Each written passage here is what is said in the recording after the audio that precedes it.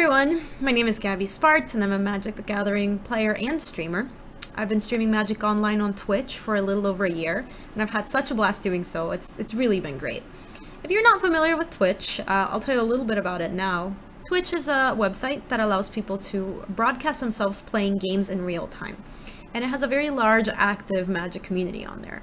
So people will be playing games live and you as a viewer at home can interact with them as they play. So it's really neat. You get to make you know you get to weigh in when the draft is going on and say things like oh i think this pick is better for our deck or um, in the middle of a match you can say hey we could have taken this line. Maybe that would have worked out better for us and, and we learned something from it um, even in sideboarding, we can, you know, the broadcaster, or the streamer, and the audience can discuss like, hey, I think we should board like this, or we should take this out in this matchup. So it's an awesome way to get better at Magic. It's an awesome way to learn more too, because there's a really wide gamut of players who stream Magic. You have players who are very new, and they're trying to get better, and then you have players who are professional players, and you have lots to learn from. So, great community, uh, so much that you can do on there. I highly encourage you to check it out if you never have. It's an awesome resource, you have available to you. Um, and this will be a step-by-step -step guide on how to set up a Twitch stream.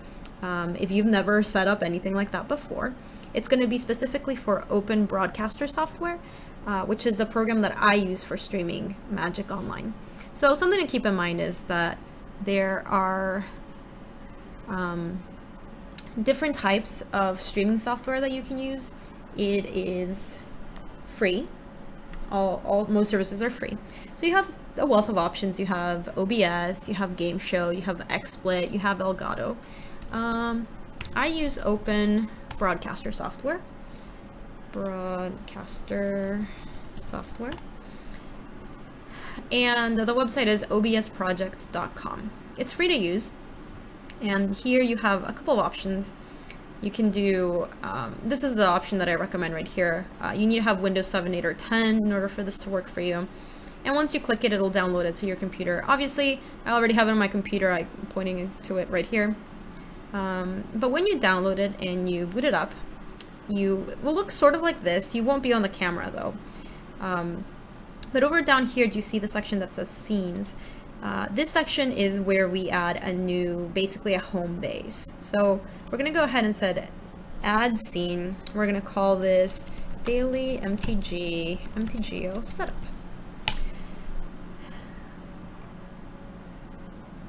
There we go. So this is what it's going to look like when you first open OBS. Like I said, I have scenes here already because I already have different setups for streaming Magic Online. This is all going to be empty for you and that's completely normal. So over here, when we go to sources, uh, we want to add Magic Online. That's the first thing we want on there. We definitely need the game on there. So we're going to go right click, add, and we're going to add a monitor capture. We can call this MTGO. It's going to open a couple of options. It's going to ask us for which monitor we want to stream from, and then all these options down here, the default is, is fine for these. Um, so I'm going to select monitor 1. Monitor 1 is currently the monitor that I'm on. Now, when I hit this, I, just a warning, we're going to go into infinity. It's going to look a little jarring. I just want to show you that this is normal. So this is basically what it looks like. Um, if you're only using one monitor, this is completely normal and it's going to look like this for you as well. Uh, let's go back up to properties real quick. For the purposes of this tutorial, I have set up a second monitor so that we don't have to see that infinity and beyond scene.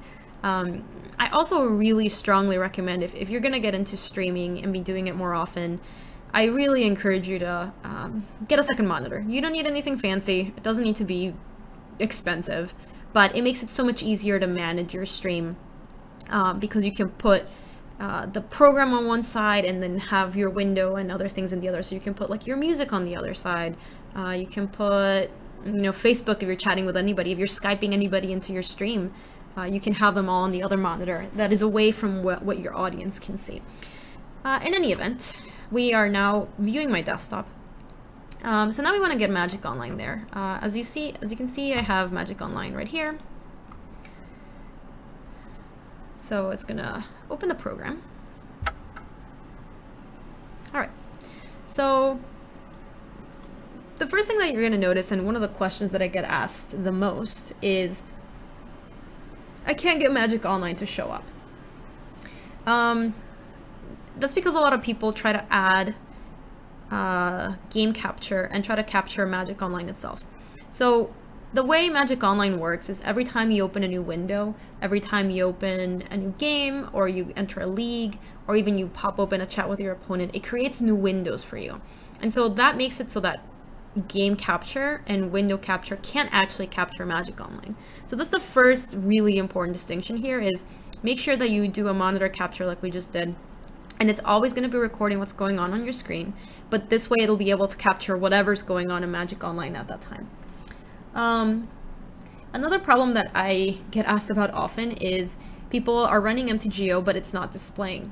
So in order to fix that, you can go to uh, your scene for your source MTGO, you go to properties and uh, here there's an option, mine's unchecked, but some people will have this um, an availability to click this.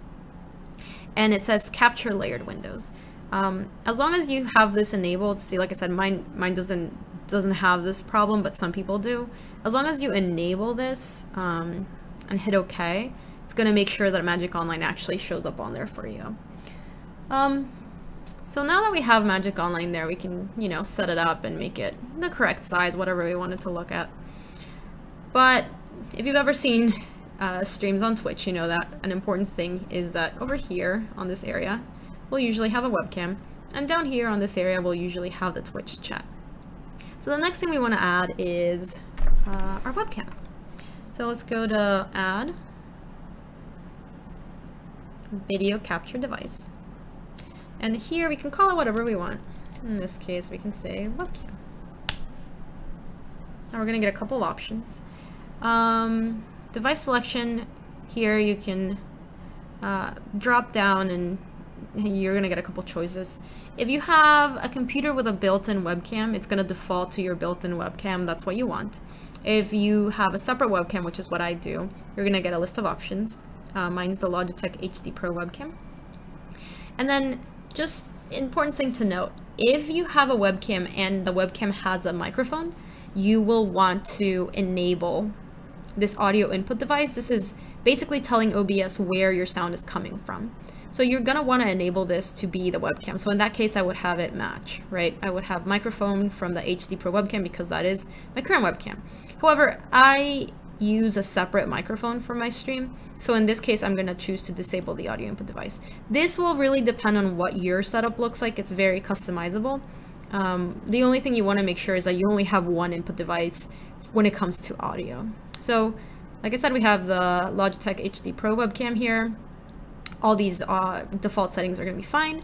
And in particular, I am disabling the audio input because I'll use the audio input from a different microphone. And I'll say, okay. Hello, we're back again. Uh, so now we want to move this, uh, this webcam so that it fits within the Magic Online parameters. The way you edit any scene on OBS is by going to, by selecting it. So we are currently highlighted on the webcam and then go to edit scene. And as soon as we did that, do you see that red border that shows up here at the bottom? And this little square right here? This means that I can move it around to whatever I want it to look like. So now we have a webcam. It's fully customizable. We can move it wherever we want. In this case, I want to put it over here. Um, but in the case of my webcam, and this will be true with your webcam as well, you see all this empty space around here? Like all this and all this here. It's wasted space. So a little pro tip of how you can fix this. Um, the the Alt Option key on your computer, if you hit that and then you move this around, it'll actually crop the webcam. So as opposed to making it bigger and smaller by grabbing it in the corner, if you hit the Alt Option key, you can actually just make it smaller and crop it. If by any chance you happen to mess up, that's completely fine. Um, over here under Properties, you can reset um, reset the cropping. So hold on, here it is. Uh, webcam, right click webcam, uh, position and size. And there's the option here, reset cropping. So if I do that, it'll pop it open again. So if you if you cut it a little too much, no big deal. But in this case, I will cut it a little bit more, cut it a little bit more. There you go. So now we have a webcam. We will play around with the size a little bit later to figure out how we want it to fit in the, in the grand scheme of things, but for now this is pretty good. The last thing you want to add on here is your Twitch chat. So uh, in order to do that, you're gonna have to go onto your Twitch account, not Twitter, Twitch, yeah. All right. Um, I'm assuming at this point you have signed up to Twitch, but if you have not, then go ahead and do that. And so now that we're here, um, this is my current Twitch profile. If I click on my actual name and I go to channel, which is just my username, Twitch TV slash my username, and you can see this is my last broadcast. I swore an oath to draft. um, down here, you're going to see a little cogwheel, and this is where the chat goes. So just as a test, there you go. That's what chat looks like when people are interacting with you, and you, your stream will show up right here. So if I go the little cogwheel and I say pop out, it's going to pop out a different version of the Twitch chat. I can go ahead and minimize this now. Uh, okay, so this is uh, our Twitch chat. We want that to be displayed right here. Um, the way we do that is we go to back here to OBS. We go right add, and this time we do a window capture. This time we're gonna call it chat.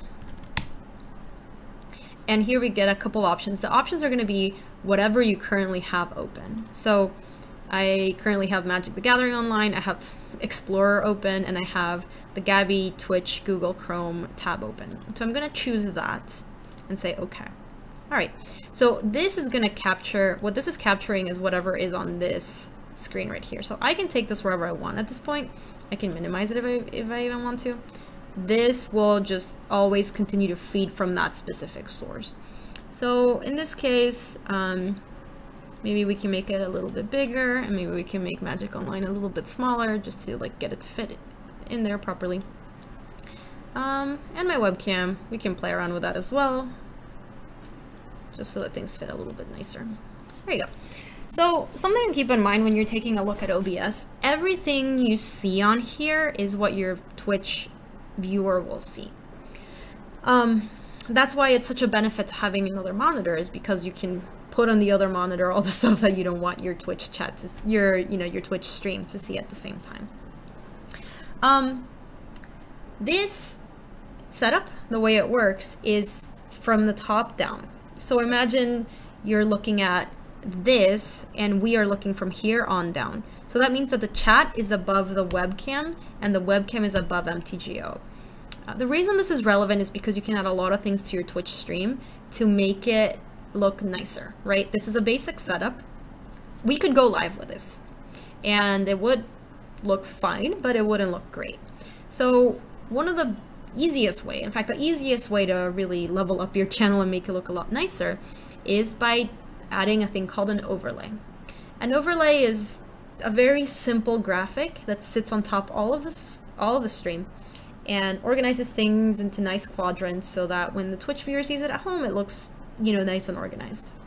I'll show you how to do that very quickly. I have a mock-up of an, of an old overlay I used to use. Um, so the way that would work is you go right-click, add image. And an overlay is just a simple image that has transparency on it, and it has space for MTGO for your webcam and your chat to go into. So we're going to call it overlay. And then it's going to ask me for where is this image coming from, right? So I made this image very quickly in Photoshop. Um, you can find a lot of free ones online. Um, you can make a very quick one using Photoshop for, you know, if you're on Windows, you can use something like Pixelmator and you're on Mac. There's a wealth of options when it comes to uh, photo editing and, and, video, and picture editing uh, software. So I'm gonna go to Browse. Let's go to Desktop, and I have an overlay here that I mocked up. It's called Jose's Edits. There you go uh, it's going to choose, it's going to ask me for different options. All these default options are fine. All right. And so if you sized it correctly and the correct size is 1920 by 1080, uh, it's going to show up and be immediately right here. If it's any smaller, you can still play around with it and make it fit, you know. Um, so I'm going to make this so that it fits on our entire overlay. And this is the reason why I was mentioning that things look from the top down. This currently means that the overlay is above the chat is above the webcam and it's above MTGO. And so knowing that we can organize things underneath it so that everything fits very nicely in this panorama because as you see, there's a lot of empty space down here. MTGO is kind of like creeping over to my webcam. The chat doesn't really fit. Um, so we can go ahead and fix all that. Uh, the first thing we can fix is MTGO and we can size it so it fits properly on there. Let's make it a little smaller. And we just want to make sure that we capture all that's going to be the gameplay in there. So make this a little bit wider. Perfect. All right. So now we are capturing all of MTGO and it looks very nice. Now let's play around with the webcam a little bit. Uh, to, to edit the scene, you first have to click on it, and here we have the option to edit it. Um, that's when those red corners become highlighted. Because the overlay is above the webcam, we just have to, it doesn't matter how big the webcam is as long as it fits within this quadrant that we added. So even with your keyboard, you can move it around. So I'm gonna move it a little bit to the right, a little bit down. All right. And then when it comes to the webcam, the webcam is also, or sorry, the chat, the chat is also below MTGO. So I can move it around, make it fit wherever I want. See, I don't actually need the thing that says send message because I'm not going to be sending any messages myself. So I can move it around there and there's a chat. Perfect. So now it looks a lot nicer and we have a pretty functional and, and nice looking stream. The last thing that I wanted to show you when it comes to specific layout is that you can add text on here and the text is a very um, quick way of showing the viewer where you are in terms of what format you're playing, what match you're playing, whether you're up or down games, etc. So over here, we would go to right click add and we would add a text. You can call it whatever you want, like with everything that we've done before, you can name it whatever you want. You just want to pick a name that will help you remember um, what the actual source is. So in this case, I'm going to call it record. And I'm going to use this text to let the viewer at home know where I am in the specific draft. You can choose your font, you can customize this however you want. So I'll, I'll say Arial is fine, font 48 is fine. Um, here I can enter the text, so I'm going to say current event. And we're going to be doing an Oath of the Gatewatch draft. And I am going to go ahead and add that. So this looks a little bit big, but like everything else, we can move it around and customize it. So uh, let's make it a little bit smaller. Currently it's at 48. We can make it smaller. We can bring it down to about 30. We can make it bold because it'll look a little bit nicer. So the current event is an Oath of the Gatewatch draft. And if you want to add something like the record, can add a space and say um, record uh, maybe we are 1 0. We just started the draft. Cool. So this will let your viewers, as soon as they come into your Twitch stream, be able to know, hey, I know what's up. I can see that there is another Gatewatch draft going on. I can see that our record is currently 2-1. Um, and it'll, you know, it'll help anybody who just joins the stream that maybe didn't see what we drafted or didn't know that we're playing in a premiere event or a PPTQ, whatever it may be it'll just bring them up to speed pretty quickly. So that's why I have this rectangle right here for extra text. If you do an overlay, I recommend that you leave some space somewhere in the overlay to be able to add that kind of information. So other things that you can consider putting on there, maybe you have goals. So you have a follower goal, you want to hit 100 followers and you'll do a special celebration stream.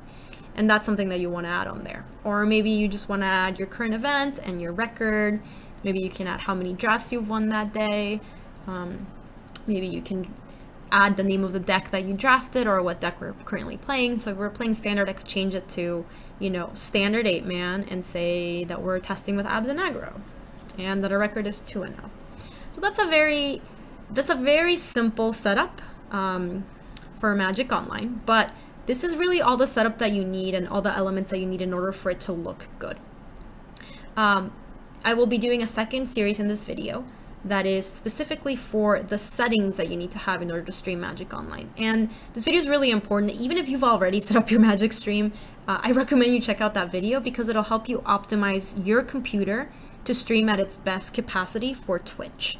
Um, so I will see you guys in a little bit um, in the second part of uh, how to set up your Twitch stream.